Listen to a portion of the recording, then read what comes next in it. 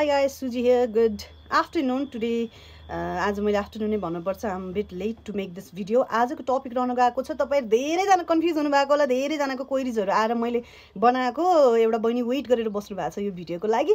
Dermatology tested and dermatology clinically proven or dermatology recommended भनेर लेखिएको तपाईँको छ। डरमा रेकमेन्डेड या डरमा टेस्टेड भनेर लेखिएको छ। हुन्छ धेरैवटा प्रडक्टहरूमा तपाईँको clinically tested I mean like dermatologist tested भनेर लेखिएको हुन्छ। जस्तो सेरावेमा स्पेसली तपाईँले देख्नुहुन्छ। अर्को भनेको तपाईँले सिडिफेलमा पनि देख्नु भएको होला। यसको खास मिनिङ के हो? टेस्टेड भनेको के हो र रेकमेन्डेड भनेको के हो? यसको खास मिनिङ के हो? यसको डिफ्रेन्सेस के हो? कुन चाहिँ बेटर हो? भन्ने कुराको चाहिँ म क्लेरिफाई गरिदिन्छु। आज I was also confuse before मैले एकदम राम्रो रिसर्च गरेको छु होइन? मैले यो रिसर्च गर्नुभन्दा अगाडि चाहिँ मलाई के लाग्थ्यो टेस्टेड भनेको ल्याब टेस्टेड फर्मुला टेस्टेड गर्ने हो। त्यसको चाहिँ कन्सिस्टेन्सीहरू चाहिँ ठिक छ छैन टेस्ट गर्ने हो। त्यसलाई टेस्टेड भनिन्छ जस्तो मेरो ल्यासिरम बाइसुजु पनि clinically I mean like lab tested हो। त्यस्तै नै होला भन्ने सोचेको but it was not actually I am surprise है विथ नोइङ दिस थिङ्स किनभने तपाईँको डरमा टेस्टेड भनेको चाहिँ कुनै पनि प्रडक्ट बनायो तपाईँले चाहिँ एउटा डक्टरलाई चाहिँ डर्मोटोलोजिस्टलाई चाहिँ यो ट्राई गरिदिनु भनेर दिनुभयो। द अनि दे ट्राइड इट है? द डर्मोटोलोजीले चाहिँ डर्मोटोलोजिस्टले चाहिँ त्यो ट्राई गर्नुभयो। They might don't like the product they might don't like the consistency they might don't like the formula they might don't recommend to their patients उहाँले केही गर्नु पर्दैन जस्ट टेस्ट गर्नुभयो। You can write it they tested अनि उहाँहरू डर्मेटोलोजिस्टहरूले चाहिँ यो कस्तो हुन्छ भने कुन बेसिसमा चाहिँ टेस्ट गर्ने? वेट टेस्ट जस्तो मेरो केसमा चाहिँ मैले वेट टेस्ट गर्ने भनेको कसैले मलाई प्रडक्ट प्रडक्ट प्रोभाइड गरेपछि मेरो क्राइटेरिया पुरा गरेपछि मात्र त्यो प्रडक्ट लिन्छु म। त्यो त्यो प्रडक्टमा चाहिँ केही केही कुराहरू हुनु हुँदैन। नभए म लिँदै लिन्न होइन? अनि त्यो फुलफिल भएर मैले लिएँ भने मैले मेरो स्किनलाई चाहिँ फिजिकल सनस्क्रिन लाएर वान विकसम्म बेयर फेस बसेर अरू कुनै प्रडक्टहरू नपारेर र बनाएर र स्किन जस्तै बनाएर and I will try that product for the four weeks म इच एन्ड एभ्री डेको कुराहरू लेखेर राख्छु अनि लास्टमा म मेरो कन्क्लुजन भनिदिन्छु फ्रम माई साइड मेरो स्किन टाइपलाई यस्तो यस्तो यस्तो छ जसको मेरो स्किन टाइप छ उहाँहरूले यो बेसिसमा यसरी प्रयोग गर्नु मिल्छ। अरू स्किन टाइपको लागि पनि if you want I will do the wet test तर मेरो स्किन टाइपमा मेरो पर्सनल एक्सपिरियन्स फोर विक्सको यस्तो आयो मैले भनिदिन्छु। आम नट द पर्सन कि म चाहिँ वर्ल्डको बेस्ट हो भनेर म एउटाले ट्राई गरेर म त्यसमा त्यो ट्याग लगाउनु मेरो चाहिँ यो बेसिसमा मैले वेट टेस्ट गर्छु। होइन स्किन केयर प्रडक्टको सो धेरै मान्छेहरूलाई त त्यो बारे क्लियर पनि होस्। कुन स्किन टाइपलाई कसरी कति काम गर्छ के साइड इफेक्ट छ भन्ने कुरा।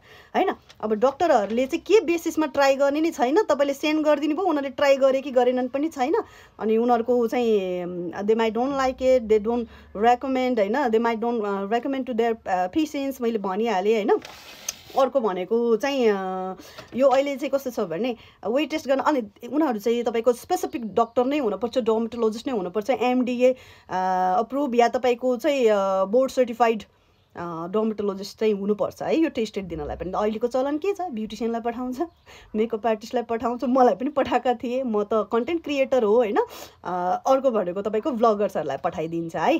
त्यसरी चाहिँ तपाईँले जस्तो मलाई वेट टेस्ट गर्नु पठाउनु मेरो अप्रुभमा तपाईँले टेस्टेड लेख्न पाउनुहुन्न होइन? यो चाहिँ तपाईँले एउटा रिभ्यूको लागि पठाएको जस्तो हो। अहिले चाहिँ त्यसरी नै डक्टरहरूलाई पनि पठाइन्छ। त्यसलाई चाहिँ डरमा रेकमे डरमा टेस्टेड डर्मेटोलोजी टेस्टेड भनेर लेखिन्छ। एउटा लेभलको लागि हो जसले तपाईँको चाहिँ प्रडक्टमा चाहिँ अलिकति ट्रस्ट भ्यालु एड गर्छ भन्ने मात्र हो होइन? यसले यो तपाईँको चाहिँ टेस्टेड भन्दैमा सबै स्किन टाइपलाई हुन्छ सबैले प्रयोग गर्न मिल्छ इट इज क्वाइट सेफ भनेर यस्तो चाहिँ तपाईँको काहीँ पनि अप्रुभ भएको हुँदैन। टेस्टेड। अब रेकमेन्डेड भनेको के हो त? है रेकमेन्डेड भनेको you send it to the doctor dermatologist they tried it and they like it and they recommended it त्यो चाहिँ रेकमेन्डेड है त? कुनै डक्टरले त्यो प्रडक्ट पाउनुभयो त्यो प्रडक्टको चाहिँ फर्मुलाहरू उहाँलाई मन पऱ्यो त्यो चाहिँ तपाईँ उहाँलाई कन्सिस्टेन्सीहरू मन पऱ्यो ओके आम गर्न रेकमेन्ड टु माई क्लाइन्ट्स भनेर उहाँले रेकमेन्ड गरिदिनु भयो भने द्याट्स रेकमेन्डेड अब त्यो पनि उहाँ पनि तपाईँको चाहिँ एमडे या तपाईँको चाहिँ बोर्ड सर्टिफाइड डर्मेटोलोजिस्ट हुनै पऱ्यो होइन? हुनै पऱ्यो त्यो चाहिँ अब त्यो उहाँले रेकमेन्ड गर्नुभयो भन्दैमा हरेक पेसेन्ट्सलाई त्यो सही हुन्छ हरेक मान्छेलाई त्यो सुट हुन जान्छ हरेक मान्छेलाई त्यो प्रडक्टले राम्रो गर्छ। यो पनि काहीँ छैन। यो पनि छैन। द पर्सन हिमसेल्फ उहाँको आफ्नै एक्सपिरियन्स र सेटिस्फ्याक्सनले गर्दाखेरि उहाँले रेकमेन्ड गरिदिनु भएको देन इट्स कल्ड रेकमेन्डेड यसले त तपाईँको बिग भ्यालु एड गर्छ। प्रडक्टमा चाहिँ एउटा तपाईँको ट्रस्ट भ्यालु चाहिँ वर्थ चाहिँ एकदम एड गरिदिन्छ। प्रडक्टमा तपाईँले डर्मेटोलोजिस्ट रेकमेन्डेड लेख्नुभयो भने अर्को एउटा सजिलो के छ भने तपाईँले रेकमेन्ड डर्मेटोलोजिस्ट रेकमेन्डेड प्रडक्टमा चाहिँ तपाईँले जो डर्मेटोलोजिस्टबाट रेकमेन्डेड भएको केही भयो भने उहाँलाई समाउनु पाइयो। तिमीले दिएको हो भनेर। जस्तो मलाई भन्नुहुन्छ धेरैले म डक्टर त होइन तर मैले रेकमेन्ड गरेको भने तपाईँले दिएको यस्तो भयो भन् भनिन्छ नि त। सो त्यस्तै तपाईँले डक्टरलाई पनि तपाईँले दिएको मलाई यस्तो भयो भन्न चाहिँ पाइन्छ तर भन्न चाहिँ कसैले नि भन्दैन आई नो दाइस अब अर्को एउटा कुरा छ तपाईँको यसमा हुने स्क्याम म भनिदिन्छु ल। अब सबैले मलाई मेसेज पनि गर्नुहुन्छ होला यस्तो भिडियो नबना भनेर। I'm taking a risk for you guys recommended चाहिँ उहाँहरू डक्टरले मन पराएरै मात्र र त्यो प्रडक्ट चाहिँ राम्रो भएर मात्र पनि गर्नुहुन्न है। नेपालको केसमा भन्ने हो भने चाहिँ they will get the percentage each and every product recommend गरेको तपाईँलाई चाहिँ ब्रान्ड अनुसारको उहाँलाई पर्सेन्टेज प्राप्त हुन्छ। त्यो अनुसारको रेकमेन्डेसन हुनसक्छ। यो मैले भोगेको छु। इच एन्ड एभ्री यो फिल्डमा काम गर्नेलाई पनि थाहा छ। होइन? अब थाहा नहुनेलाई म भनिदिन्छु। सबै डक्टरले या डर्मेटोलोजिस्टहरूले र तपाईँको स्पेसलिस्टहरूले या तपाईँको चाहिँ एस्थेटिक्सहरूले चाहिँ कुनै प्रडक्ट रेकमेन्ड गर्छन् भन्ने त्यसमा तपाईँको प्रडक्ट राम्रो भएर मात्र पनि नहुनसक्छ यसमा एउटा चाहिँ पर्सेन्टेज पनि काम गर्छ। Each and every pores product चाहिँ रेकमेन्ड गरे बापत चाहिँ पर्सेन्टेज पाउने भएकोले either they like it they don't like it they will recommend you this is the scam or truth behind it हो होइन? अब तपाईँले टेस्टेड लिने कि रेकमेन्डेड लिने भन्ने कुरामा चाहिँ मेरो फर्स्ट चोइस भनेको रेकमेन्डेड नै हुन जान्छ किनभने we can blame someone you have someone to blame if something happen easy if something happen you have someone to blame it done हामीलाई त जे पनि दोष लाउने बानी छ नि त होइन? मेरो एउटा कस्टमरले छ महिना अगाडिदेखि मैले चाहिँ तपाईँलाई यो लाउँदा हुन्छ होला म्याम भनेर चाहिँ भनेको प्रडक्ट लाउँदा राम्रो भएछ अनि पछि पिल्स कि के खानु भएछ नि यहाँ यत्रो पिम्पल आएछ क्या। हेर्नुहोस् त तपाईँले गर्दा यहाँ पिम्पल्स आयो भन्नुभयो छ महिना अगाडि सामान पठाएको सामान सकिसक्यो लाएर पनि। बट्टा काटेर कता फालिसक्नुभयो? एउटा पिम्पल आएको चाहिँ छ महिनापछि मलाई दोष लाउनु भयो क्या। अनि कहिलेको भनेको छ महिना अगाडि लाएको थिएँ नि त्यो क्रिम? हो त्यसले आएको भन्नुभयो कि? सो तपाईँहरूलाई रहर छ नि केही न केहीमा कसैलाई दोषै लाउने जे भए पनि। सो त्यस्तोमा चाहिँ रेकमेन्ड लिनुभयो भने तपाईँले दोष लाउनु पाउनुभयो केही भयो भने होइन? अनि अर्को टेस्टेड मात्र चाहिँ तपाईँको मैले यसको ट्रुथ भनिदिइहालेँ। टेस्टेड भनेको they tried it it's not recommended उहाँलाई उहाँले त्यो डक्टरहरूले त्यसलाई रेकमेन्ड गर्न पनि सक्नुहुन्छ नगर्न पनि सक्नुहुन्छ but they tried it tested भनिएको टेस्टेड एन्ड रेकमेन्डेडमा यस्तो छ।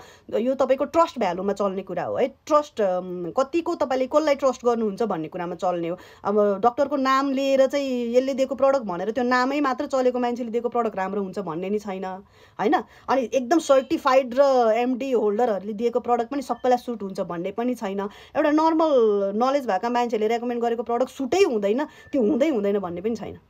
होइन? ट्रस्ट भ्यालु हो मसँग लिने मान्छेले मसँग ट्रस्ट ट्रस्टमा लिएका हुन् नि त।